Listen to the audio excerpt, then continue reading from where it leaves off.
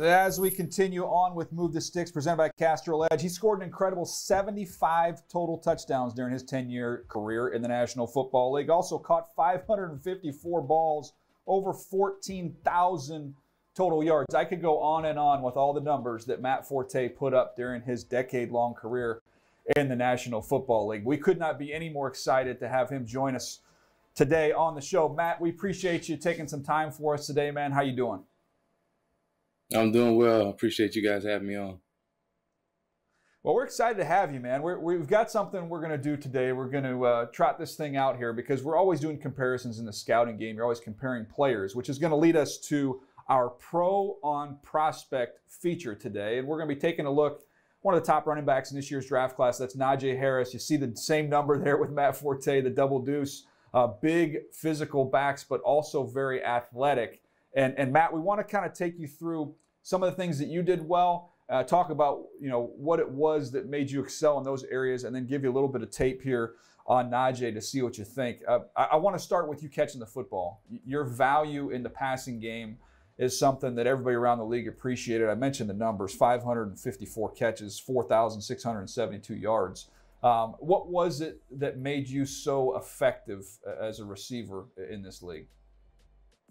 I would say um, just that I wanted to be an all well-rounded running back. You know, every down back. Didn't want to have to come off the field on third down. And uh, I know how important protecting the quarterback is. So being able to pick up blitzes and read defenses is important. And um, that was one of the main things that uh, kind of sparked me towards uh, being an every down back. And then also that um, you can get mismatches on on guys like linebackers and safeties if you know how to run routes like the receivers run, and if you have good hands. And so it's really a lot of times like a screen play or a swing pass. Those are extended handoffs, but if you can extend extend that beyond the uh, those those short intermediate passes and go downfield or run slants and different things like that, uh, it adds another dimension to your offense. You know, it's funny, man, because you talk about adding another dimension to the offense as a pass catcher. When we look at Najee Harris, he certainly has big time ability. But what do you see when you evaluate him and see him on tape? when I see him on tape, I see a big back who um, does have soft hands and can catch the ball. I haven't seen a lot of down the field catches, but that's not to say that he doesn't have the ability to do that. Because when I was in college, um, I didn't catch a lot of balls down the field. I catch a lot of screens, a lot of swing passes, a lot of check downs, and those type. But once I got to NFL, I developed that that um, into more of a, a receiver type uh, ability, running option routes or slants and things down the field. So uh, I think he has the ability to do that. I also see good patience in his running style, um, where he can allow his blocks to be developed and not get too anxious and try to hit the hole before it opens up. So I think that's a, a great um, a key to have with not only with vision but with the patience to let his blocks develop. That's great stuff, man. I think about uh, backs out of the backfield, but then able to put them out in the formation, something you did a lot you talk about guys, you know, what they do after the catch. We just flipping them a, a flare, just get them the ball. But then there's those guys that can do stuff uh, before the catch to be able to run, you know, angle routes, option routes, get down the field vertical, something you did. I think uh, is going to have a chance to do some of those things. You touched on um, what I want to get to next is your vision because when I go back through and look through your report, um, that was something that led you to that 2,000 yard season there at Tulane, your final year in college, and we all noted just how outstanding your vision was.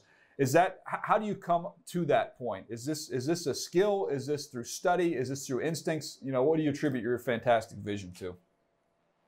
I think it's a lot of a lot of instinct and a lot of like um, kind of God given talent, but also it does come from studying um, the defense and knowing what they do, and, and also uh, it's so important. I would say vision is probably one of the most important things as a running back. If you open up the NFL Bible, the first scripture is going to say where the where there's no vision, running backs perish.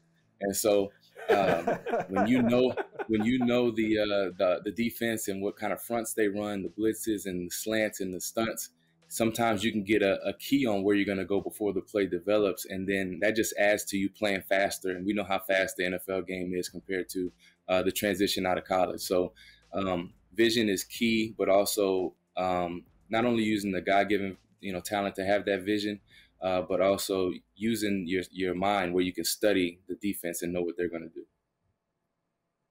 You mentioned vision when you were briefly describing Najee earlier. When you see him with the ball in his hands as a runner, do you see some of those traits? Yeah, definitely. You see, he, he likes to get his shoulder square to the line of scrimmage, which is good, and get that uh, early. And then when you press the hole, that's the one thing that coaches will always tell you when you come out of high school and you're in college and you're trying to learn how to transition. And then also, sometimes guys don't learn it in college because the holes are wide open. But when you get to the NFL, you got to press the hole to make so that your offensive lineman can get to the second level and get on those linebackers. The linebackers are smart. They've seen inside and outside zones their whole career. So if you press the line, sometimes you can you can make a good cutback run, or you can hit the hole right up the, right up the middle. One of the other things you guys share is your physicality. And uh, Matt, when you look at guys with your body types, to be able to play with low pad level can't be easy. Um, but how important was it for you uh, to play with that physical edge as a runner? It's the most important uh, too, besides vision. I would say is to you know, as a tall guy, you know, Najee is 6'2", I'm uh, 6'2", as well. So to be able to keep your pads low, for one, you know, he's a he's a lot he's a little bit bigger than I was. He's 230. I was about 225. So, uh, you know, you can you know punish defenders in the in the in the uh, third level, and then also when you know the game gets going and you're in the third and fourth quarter and they think you're going to try to run over them, that's when you run by them. So you really can set up a lot of runs um, to make uh, what looks like a 10, 15 yard gain to be 50 and 60 by doing that. And so uh, this game is physical. Um, it has become more, some people say like a passing league, but once you get the ball in your hands, you still got to be physical to be able to break tackles. And um, especially, you know, a guy like Najee with that size, if you're able to make the first guy miss, uh, that's one of the key factors in, in uh, recruiting a running back that you think can, can make it at the next level. You know, it's funny because you talk about the physicality. I, I hear coaches always talk about as a runner, you either the hammer or you're the nail. When you look at Najee Harris, does he have enough of that physicality to be that that fourth quarter beast that teams love to give the ball to? Yeah, if you look at uh, you know his stats in college, I don't think he averaged under uh, five yards a carry, and also he's got good moves. You see the spin move right there, and uh, he's a big guy. And I think he knows that. You know, the good thing about it is that he knows he's a big guy. So when you know that you can use your pass to get extra yards and you know, run up on corners and, and uh, force the safeties and cornerbacks to tackle. Uh, sometimes those guys, when it gets late in the game, they don't want to do that. So when you when you can become the hammer for your team and you got that endurance and the um, the ability to to consistently be be that, um, I think he does, and and uh, the size and and uh, the speed that he has will aid him in, in being that. Uh, last thing for you on Najee here, as he's getting ready to embark on his journey, coming from a 10 year vet who did it at a very high level. Any piece of advice you'd have for him?